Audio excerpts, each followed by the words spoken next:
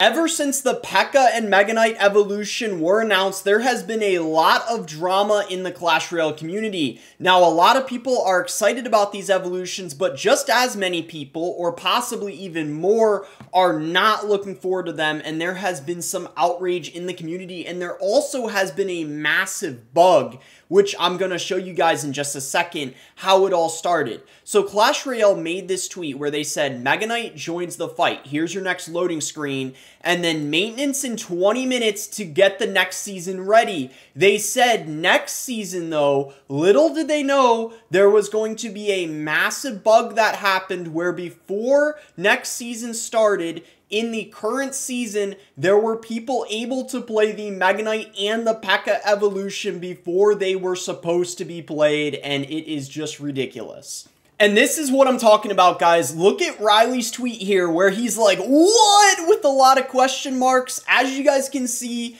Issei here was using the Mega Knight evolution before next season even started. As you guys can see, Riley's tweet here is from August 30th. And if you look at some of the replies from Viking here, where he says, let me cook, he's got the P.E.K.K.A. and the Mega Knight Evolution, and this guy's like Supercell CEO should be jailed, game is dead, another person showing that you're able to use Evolution Shards on the Mega Knight and the P.E.K.K.A. before the new season started, where they were supposed to be unlocked. And as you guys can see, Riley quote tweeted what he said and said, how the hell does he have these? So not only did the guy have the Mega Knight evolution, also the P.E.K.K.A. evolution at the top of ladder, able to use it. And he also included a screenshot here. Bro, this game is so cooked and you guys can see in his ladder match, the Evolved P.E.K.K.A. is being played. Finally, after this was going on for a few hours, they were finally taken out of the game, and this is what happened. No, my Mega Knight evolution.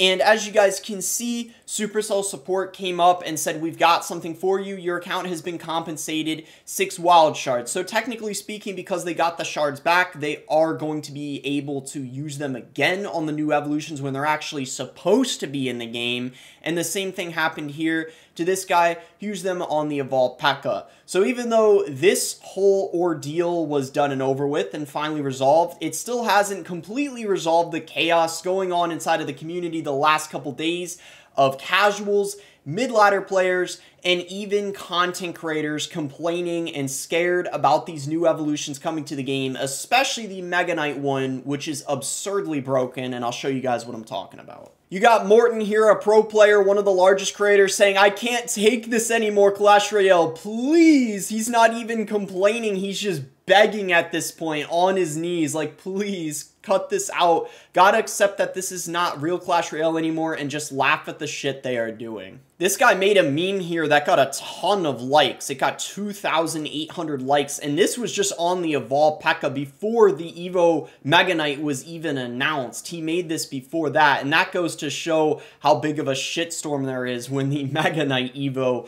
was announced. An extremely overpowered card in our carefully balanced card factory how, Queen? I've never seen such a thing. Must inquire about this further with my supervisor post haste. And that was when the champions first came out and the Queen was absurdly broken around the time when the Electro Giant Skeleton Dragons came out as well. And then he's just like, I guess we're doing broken cards now. He's getting used to it. Little Prince, the Evolutions, the Monk, and the Phoenix. And then voila! we got to the point now where they're evolving cards that are already pretty powerful, like the P.E.K.K.A., for example, the Bomber, the Tesla, the Drill, etc. So I guess that's kind of the point he was making with this, and that's why there's a lot of people that were upset that the P.E.K.K.A. got an evolution. Okay, guys, now let's get into Reddit, where the community has been going absolutely bonkers. If you guys did not see this clip, you have to see it now. Let me just play it. It's just showing you guys the Mega Knight against tanks. I mean, look at these interactions. It is just ridiculous. The Mega Knight evolution might be possibly the most broken evolution on release at this point. After seeing some clips like this, it is just absurd. I think they need to nerf its ability to where it only knocks back every other attack instead of every attack. And even after that, it may still be too broken, but that at least needs to be the bare minimum after seeing that clip, I think you guys are probably going to agree with that. And then a post from a day ago with a lot of upvotes is just straight up saying, don't buy Evolved Mega Knight. Hear me out. You should not be buying the Mega Knight Evolution. It's going to be so broken on release, sure, but we know the Supercell scheme by now. Release broken cards, evolutions to bait everyone into buying it. Nerf it so it's unusable or mid, repeat cycle. I'm calling it now. Evo Mega Knight will not be a strong evolution after they nerf it, so don't waste your money, folks. Damn, this blew up overnight. Thanks for all the upvotes. Stay free to play, guys. We need to stop Supercell greed together. Insert Jesse Pinkman. He can't keep getting away with it. And he brings up a good point there.